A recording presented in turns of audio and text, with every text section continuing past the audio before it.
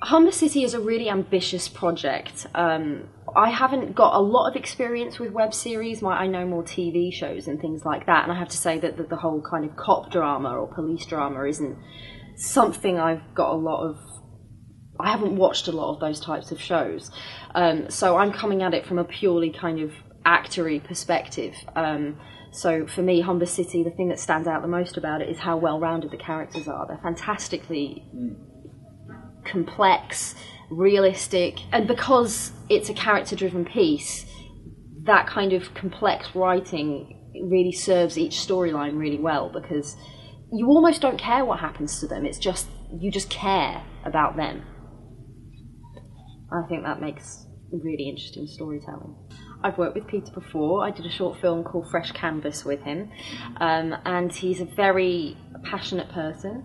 He knows what he wants, and I really I like that in a director. It's the directors that don't know what they want from their actors that you struggle working with the most because they always seem disappointed with what you give them because they don't know what they want themselves. So whenever I've finished a take with Pete and he says good job, I know he means it and it gives you a lot of satisfaction to work with someone like that. I didn't come into it with the kind of attitude of whatever role I get, to be perfectly honest. I was offered um, the role of Caroline at one point, but found that actually after reading the scripts that Joanna Winters was far more suited to me and I found it more of a challenge because some truly terrible things happen to my character and there's a really interesting story arc there.